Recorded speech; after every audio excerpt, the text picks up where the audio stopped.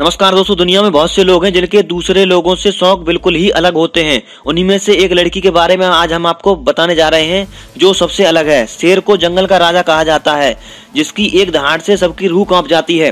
परंतु दुनिया में एक लड़की ऐसी भी है जिसे शेर से बिल्कुल भी डर नहीं लगता है। बल्कि यह लड़की उसको अपने बिस्तर पर लिटाकर उसके साथ सोती है। यह लड़की कोई और नहीं, बल्कि हॉलीवुड की जानी मानी एक्ट्रेस मिलानी ग्रिफिथ हैं। यह सिर्फ़ शेर के साथ सोती ही नहीं है, बल्कि उसके मुँह से मुँह अंदर अपना सिर भी डाल देती है, जो कि और वह काटता नहीं है।